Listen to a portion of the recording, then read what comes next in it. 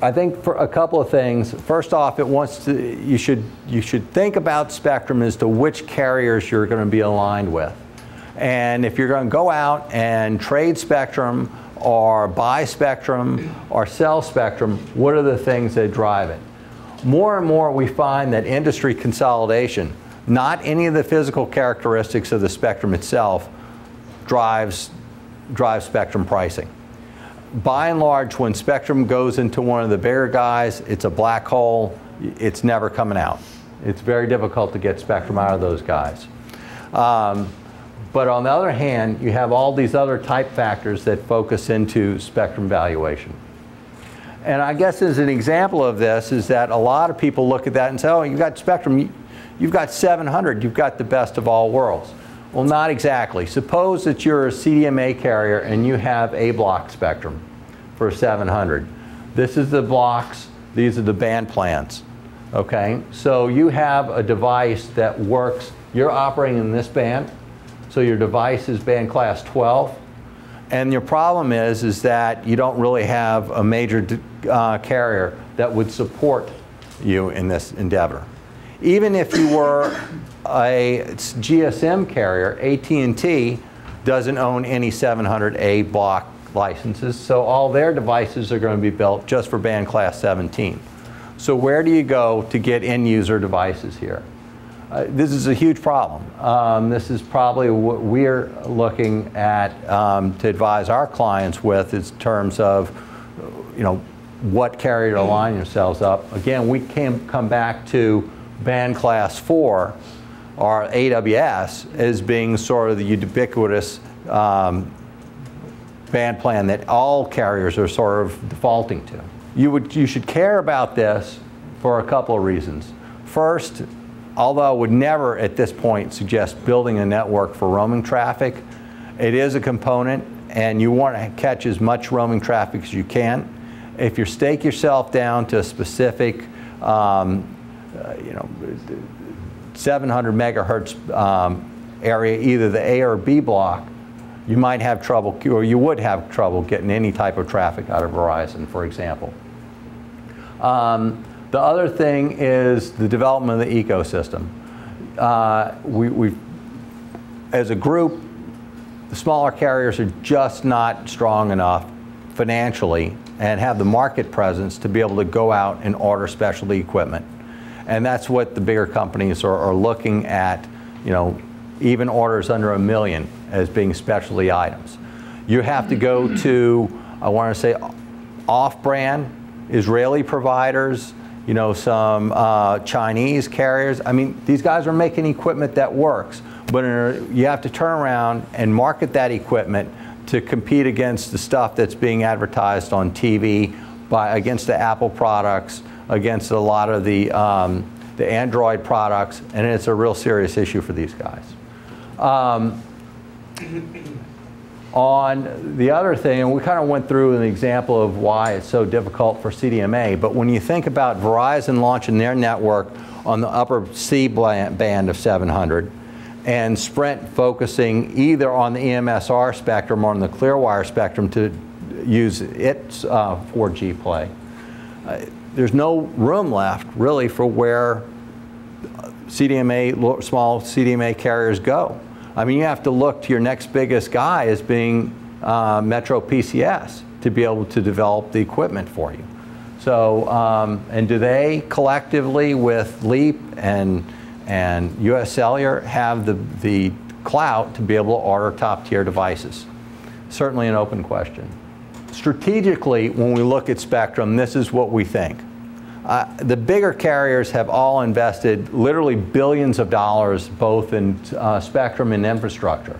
And they are all relying on data, not voice, data, to be able to support their, this investment. Um, and we'll get to a couple of examples of what some of these guys are doing, but it is more than giving a folks a tablet. It's more than giving them a modem card. It's a completely different business model that this network is going to support. Um, what we're seeing is a lack of buyers, particularly for 1900 spectrum, um, where people say, you know, this spectrum just doesn't interest me anymore, and uh, there's some stuff out there that frankly is not sellable. So just because you have spectrum doesn't mean that it's infinitely valuable or, or people are dying to get their hands on it, even in a spectrum constrained world. Like anything else, it's where the hotspots are. Um, it's also helpful, I think, for us as a group to take yourselves out of the mindset of, I'm trying to buy something for me, to put myself in the mindset of my suppliers. Who is supplying me with this equipment? What is their motivation? Is there enough demand out there collectively from all the rural areas combined to be able to really drive any type of purchasing decision. Um, that's tough. And so how do you compete with that? We went to the uh, GSMA conference in Barcelona this year. And you know, voice was almost like a, a dirty word. You never heard anybody talk about voice. Instead, they're talking about having um, medicine dispensers that are tied into an LTE network. So you can monitor, patients can monitor their drug usage, or actually the physicians can monitor the drug usage of patients. Supposedly, this is, is like a $5 billion problem in the United States. John Deere, every single tractor that's being shipped this year is being hooked up wirelessly to um, the dealership. BMW, same way. If your car, your car is going to know when it's getting ready to have some sort of failure. It'll communicate to that information to the dealership. The dealership will call you saying, it's highly likely that you'll experience a problem with your brake systems, your pads are worn, you probably should come in now. I mean, it's a little freaky when you start thinking about it, but uh, no freakier than actually implementing our uh, medical devices inside of the patient to be able to do on-time monitoring so they don't even need to call in. The device calls in or links up to the network from inside the body. That's, that's freaky. But anyway, these are the business models that people are basing the LTE network on, which is substantially different from the voice model.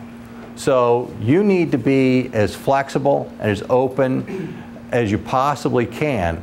And um, so whenever you have the opportunity to offload some of your operational responsibility, I would certainly um, jump at it. Again, no surprise, each owning about a third of the share of the market, AT&T um, and Verizon are going to set the wireless agenda. I've long said that it's not so much that AT&T have so much, it's that T-Mobile and Sprint have so little in the terms of strategic vision. We have such weak third and fourth carriers in the United States that we are effectively in a, a duopoly today, despite any actions the FC, DOJ might take against AT&T and T-Mobile. Um, again, you know, the growth is going to come, and AT&T and Verizon are going to set that, and that's likely to be through data and all sorts of new, interesting, and unusual data items. Um, the question that we have as rural carriers is how can you position yourself to take advantage of the holes in those networks to be able to um, address those needs. Um, finally, we're seeing, just like the LTE rollout, the product life cycle is starting to shrink more and more and more. So, um, you know, these phones are now coming out with, you know, every 14 months, and the improvements in the phones are absolutely amazing. When you think about Apple has already out, I forgot, the, it was over a million pre-orders within the first 24 hours of a device. That's an absolute amazing turnover, not only of devices, but potentially of carriers as well. So I think the opportunities are out there. I think it's going to be up to us to be able to have adequate spectrum and technology to be able to support them. So does anybody have any questions? Right. Uh, Metro PCS, they're, they're one of the few trying to do LTE in 1900. Anybody else? Eh, put it, all the networks are going to be LTE at some point. And I think when you look at that map that showed they only have 10 megahertz, that's one of the reasons why they, they elected to, to do it at uh, the 1900 level. So um, I would suspect that you see more and more refarming of existing um, networks to be able to, uh, to get there. And frankly, they couldn't get the spectrum they wanted in the spot they wanted to be able to do it other than 1900. They're- so, yes, Andy. Um, You gave a good background on the competitive landscape, and you sort of see the niche markets for, for Leap and Metro, and they have their niche. US Cellular always seems to be kind of that unusual carrier out there. They don't seem to ever be leading from a technology standpoint, and their markets are. Right. Where, where, I mean, from your perspective, where do they go? Well, um, when you basically have one family that owns, that controls the whole thing, they're not going anywhere till the family decides. Uh, they are, they're, they got started from independent telephone companies, and their route is customer service, and they will provide you service, and that's what they want to do. And they have um, really no interest in expanding their markets. Um, they're just focused on giving you a good quality experience. And, you know, they've done a fairly good job, but I mean, they, they really honestly don't have the devices to compete against the bigger carriers, and that's been, and, and the second part is they've also been a house divided because they can't really decide should I focus on the rural markets where the bigger carriers haven't? And I think that seems to be a corporate mission. And then all of a sudden, what ends up happening is they say, your goal is to get 200,000 new net adds, and so they're for, forced to go to Chicago and St. Louis and try to grab share. So, I, there's a question back here. Yes, sir. Yeah, I was thinking about Metro, are there, are they building LTE on top of their CDMA so they have a handback plan, or is it remove and replace? Well, I think I think a little bit of both. That's With, tough with, in 10 huh? megahertz. That's tough in 10 megahertz. Well, they, they have 10 megahertz of AWS. They do have one 700 megahertz A block market that's in Boston, um, but they haven't done anything with that. But I think they would like to go ahead and build the AWS markets first. But if they don't have that opportunity, they'll they'll start with 1900. And so, how did they get a deal with the handset makers? The- Well, first off, you have to figure out who their customer base is. And the hu- customer base probably is not as brand sensitive as postpay. So it probably d- works well for them. Yes, sir.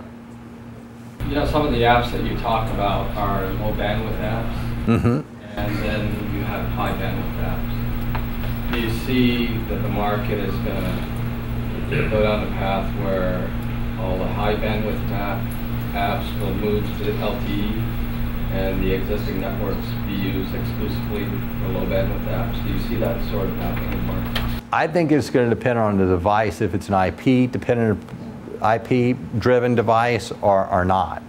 Um, one of the big things that came out in Barcelona was the concept of burst or thirst. You know, is it is an app that needs a lot of information really quickly, or does it need a, a long drink? And how that how your network is built to handle those types of devices, and when, when that information is transferred. One of the things that's interesting is AT&T does not have a standard pricing model when they go out and recruit people like Walgreens and, and CVS or John Deere to run apps on their on their particular mar, on their network. Every deal is cut individually. I don't know how long that can last, but that's the method that they're going about today. And I think a little bit is to your question how they plan on addressing that. It's all on a case by case basis. Well, their end-to-end pricing, for example, some of the stuff I've seen is, it's five bucks a megabyte.